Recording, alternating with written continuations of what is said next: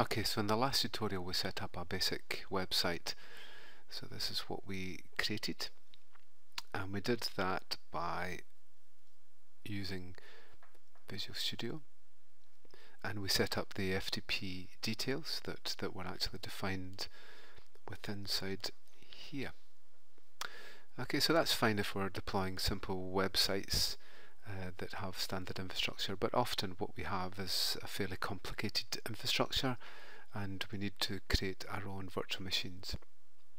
So in this example what we'll do is we'll set up uh, IIS on a Windows 2008 server with FTP and then we'll FTP our files to it. Okay, so the first thing that we do is that we'd create our VM. So we're going to go for uh, our DNS as long as it's unique across the cloudapp.net then uh, then we should be okay. We'll go for a Windows 2000 server and 8 and we'll give it a password and we can go for a location in this case it's in Asia.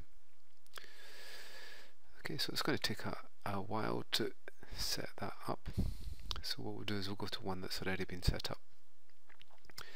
So the key thing for us is that uh, the endpoints, by default only the remote desktop is set up as an endpoint. So it connects to port 54775 and that, that maps to a local port of this. Uh, these two ports I'll actually show in a little minute how these are actually used, but they'll be used in passive FTP. With passive FTP we open up ports on the server and obviously the firewall needs to allow these to go through. So we'll see how these are used. Just now we should be able to have a look and there'll be no way that we can get into our website yet because the port hasn't been open yet. Okay, so if we go here, if we go to the, it's in the cache,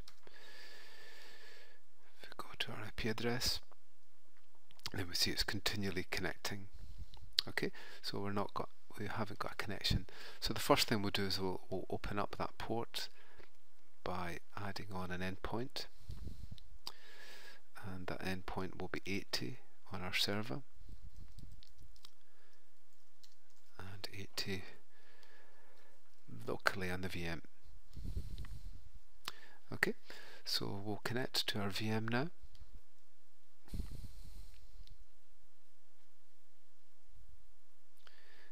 we do that through remote desktop. Okay, so we click here and we'll connect to our remote desktop. First thing we'll do is we'll add a role of a, of a web server and I've already installed it but when you're installing it just go add role and then add web server IIS. Okay, so once you have IIS you will add a role service in this case add FTP. So add FTP and you should be all set up. We're running the web server and IIS. So we'll just check to see the web server is running.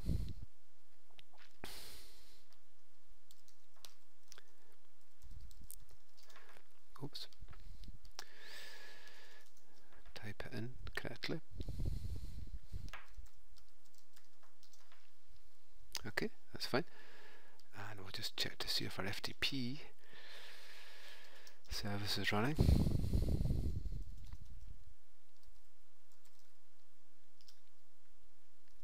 And it is.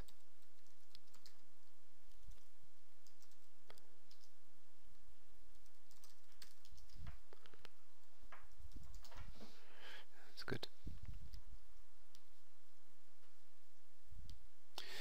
Okay, so we configure our FTP by going here.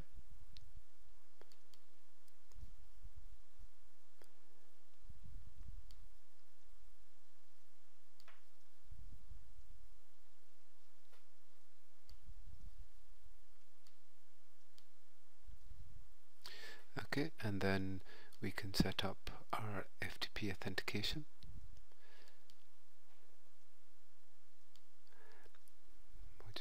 for basic.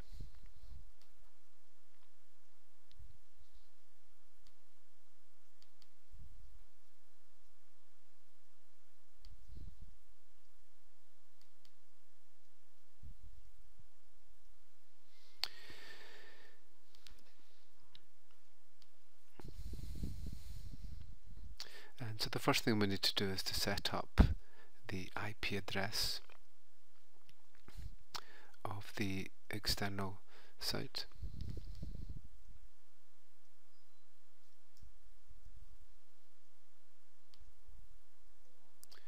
Uh, we do that here.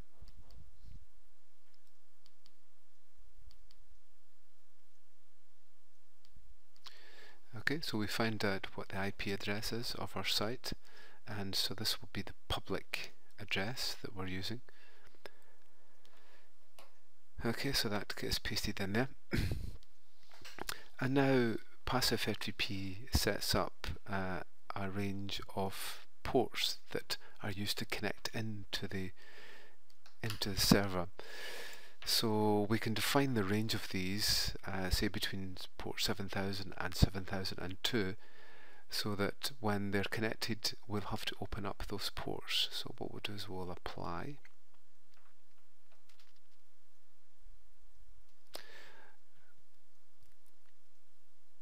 Okay, so that set up our external FTP site and the ports. It's a good idea if we can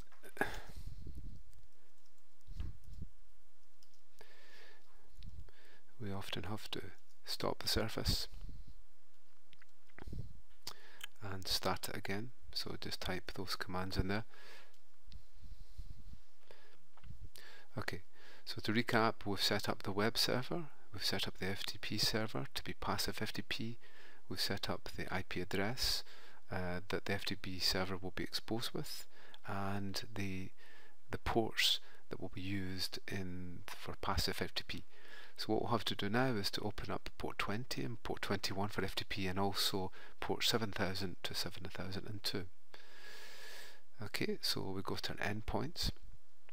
I've already set up 7000 and 7001, so I only have to set up another two here. So add an endpoint.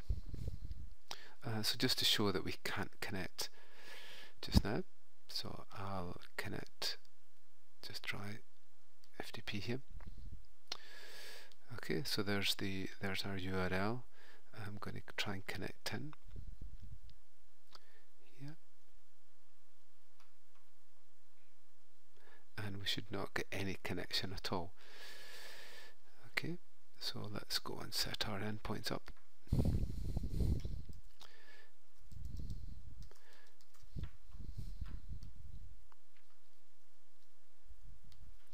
And it just takes a little minute to do this and then we can set another one up okay so so 7000 7001 are going to be our ports that passive FTP will use and we've defined them as possible ports on the FTP server.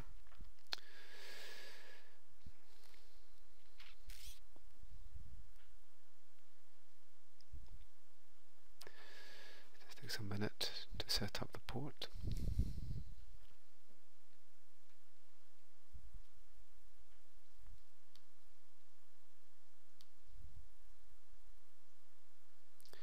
we can't set up another one until this one is set up. So we've got to set up 20, 21. can do some nice load balancing if we require it. So it's 21 publicly and it's also 21 locally. okay, so let's see if we can log in with FTP.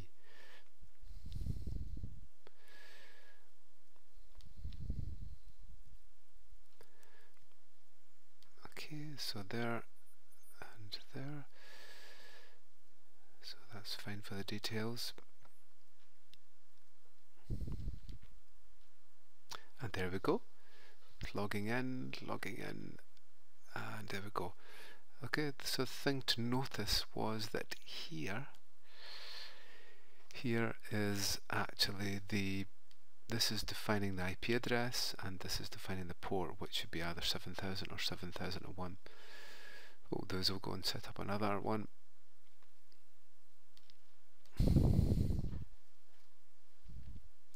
so we should be all set up now there.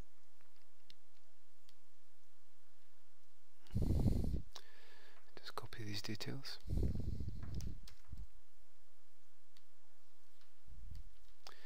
And I just open up 7002 just in case.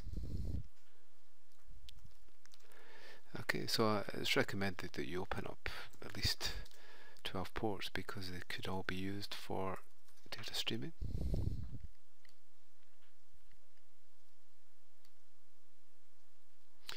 Okay, so now that I've got FTP set up, then I can set up uh, with an FTP client like this. There we go. And hopefully that's that's what we'll see.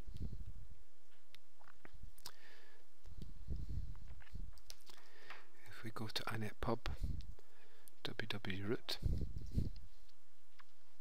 there we go. If I copy that, do a quick refresh.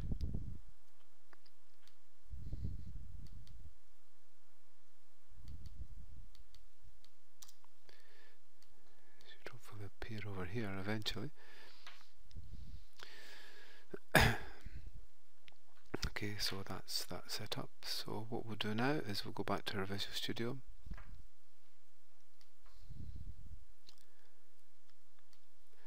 Go settings.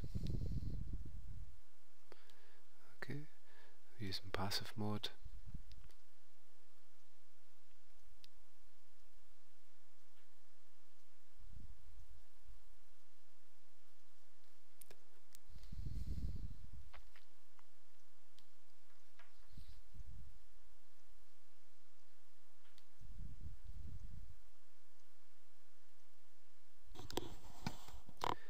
Just one little change there.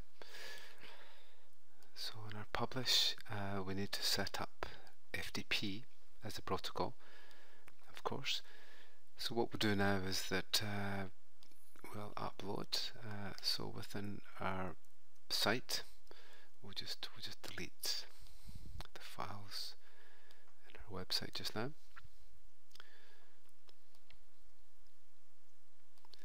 And then we'll publish.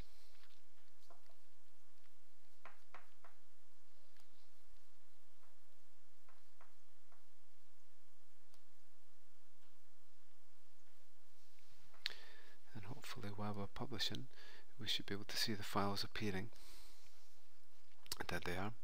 So they're just getting FTP'd up from our website from Visual Studio into our website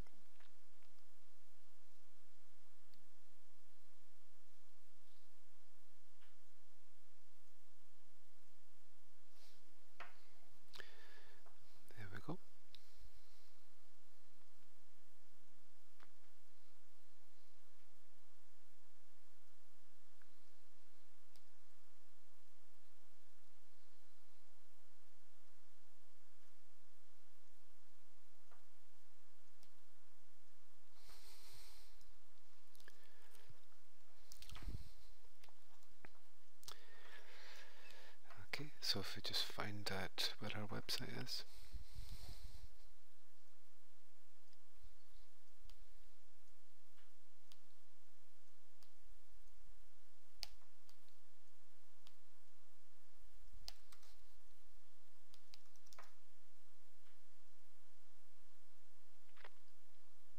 There we go. Uh, so that's shown how we set up uh, Microsoft Azure with a virtual instance.